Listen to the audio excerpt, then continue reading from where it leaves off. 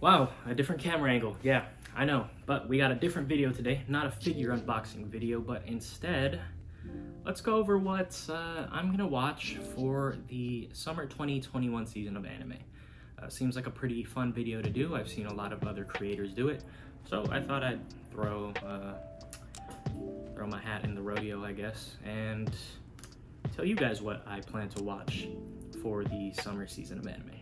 So let's just start off with my most anticipated anime.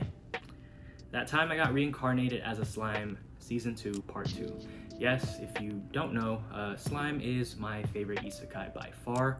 By far, I think it outclasses a lot of other isekai. Not not putting them down or anything, but I just don't like other isekai as much as I do slime. Slime is a lot more fun. It's a lot more action-packed. It's a lot more fast-paced, and Rimuru is an awesome character.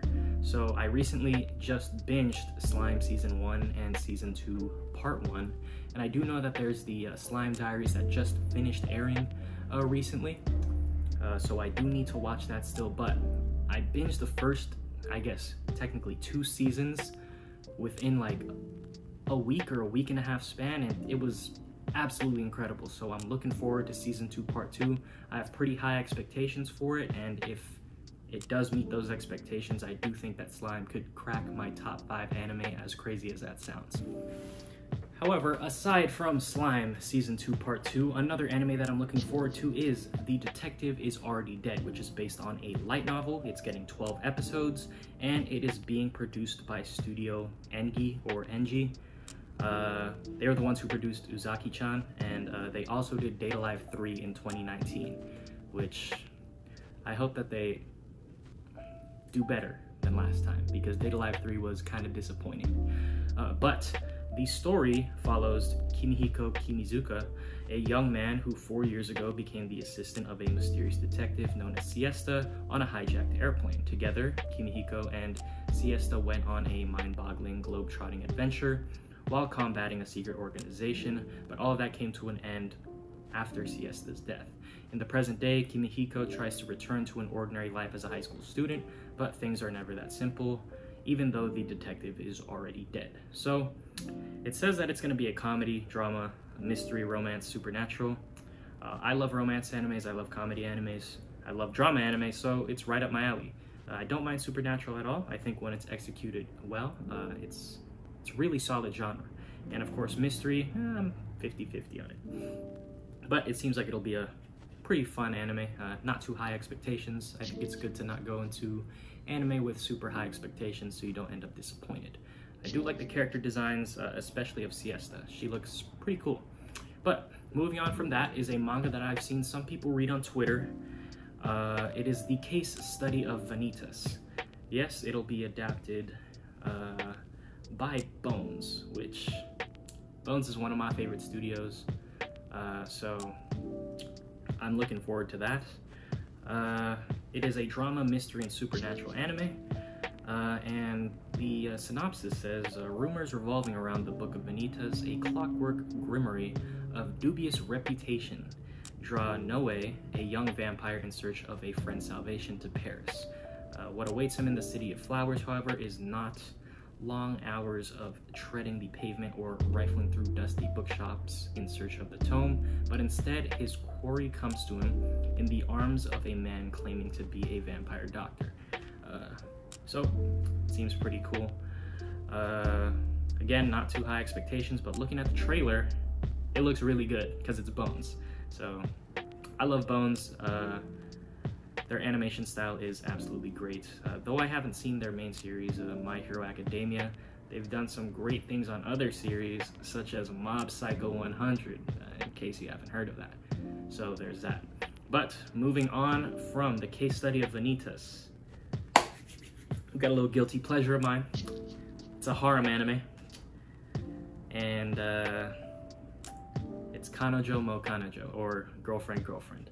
Uh, honestly, I'm only watching it because the girls look pretty cute. Um, that's pretty much the whole draw of the series, I'm guessing. Uh, it's uh, adapted from a manga, which I haven't really uh, heard of or read, uh, and it's being produced by Tezuka Productions, who produced Dororo and Adachi and Shimamura uh, in 2020. Uh, and they also produced the, was it second season or first season of the Quintessential Quintuplets? One of those. But uh, I'm guessing it's another rent a girlfriend type thing. Uh, there are four girls, they look pretty cool.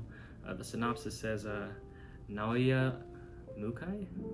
I'm so sorry uh, has loved Saki Saki since grade school, and when she finally accepts his feelings, he's at his happiness.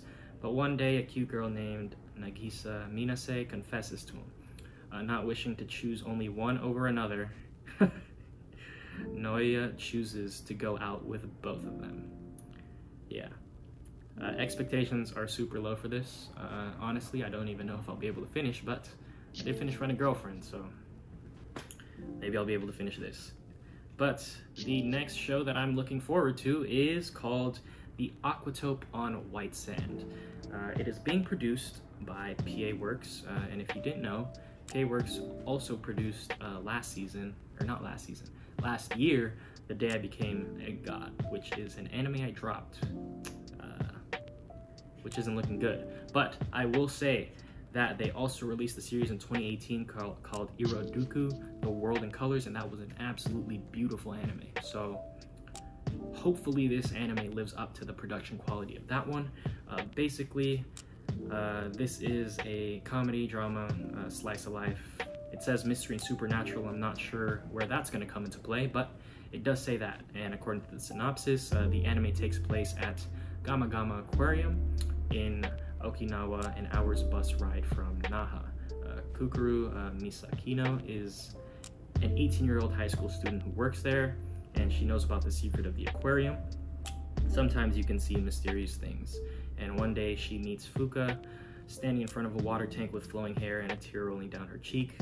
Uh, Fuka has given up on her dream of becoming an idol and has run away from Tokyo to Okinawa, and I'm guessing that the two just go on an adventure I guess, in the uh, aquarium. But moving on from that one, um, the next anime that I'll be watching is Bokutachi no Remake. Uh, this is a comedy and sci-fi anime. Actually thought it was a slice of life anime, which was why I picked it up, but I guess not. But it is a comedy and sci-fi anime, and the reason I'm picking this one up uh, is because it reminds me a lot of Remake, because uh, the main character is a game developer, he goes bankrupt and loses his job. Um, and then he's given the opportunity to travel back in time 10 years before he entered college, similar to the main character of ReLIFE. Um, and he's able to like reverse his life decisions. Uh, and then the story will see him following, we will see him following uh, the path he chooses to take and if he can rewrite his mistakes uh, that he had in the present day. It's being adapted by Feel, who did the uh, last two seasons of my teen romantic comedy Snafu. Say what you want. Uh, I thought the characters looked great, even though I prefer the season one design because of how, I guess, cartoony it looks. But Feel produced that, and they also produced uh, other works such as Tsuki ga Kirei. So there's that. So the final thing that I'm gonna be checking out in the summer 2021 season is the Kakushigoto movie. Uh, Kakushigoto, if you didn't know, was an anime that released in 2020 last year, uh, spring 2020.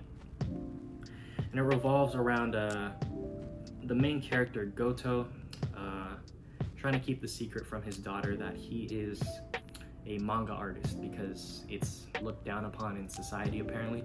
I think it's pretty dope. But he tries to keep that a secret in order to protect her. Uh, it's a really sweet anime, uh, very good slice of life, uh, one of my favorites. And this new movie is apparently going to put new scenes in different perspectives uh, to the uh, anime, so uh, I'll be looking forward to that. I don't expect too much change, but seeing new scenes, seeing Hime and Kakushi together again is great. Also hearing Rie Takahashi and my favorite voice actor Hiroshi Kamiya on the screen again is always a good thing. But those are the eight shows that I'll be watching uh, this summer 2021. I know you guys are probably wondering, why aren't you watching uh, Dragon Maid? Uh, I haven't seen season one. Uh, so yeah, I'm not watching Dragon Maid this season, I don't think. I'll eventually pick it up though. It I've, I've heard nothing but good things. It's a Kyoto Animation work, so it's bound to be good. But with all that being said, those are my picks for the summer season of anime in 2021. Uh, let me know in the comments what you're going to be watching. Uh, if you have any expectations for any of the shows that uh, I listed and what you think will be the best anime of the season. I know a lot of people say it's not as packed as last season or the previous season, even. Uh, but I think there are going to be a lot of hidden gems. Um, not a lot of big titles, so we'll have to be uh, we'll have to find that diamond in the rough like we did last season with shows like Vivy and uh, Moriarty the Patriot. So, with all that being said, those are my picks. Uh, that's what I'll be watching, and thank you for watching the video, and have a good one.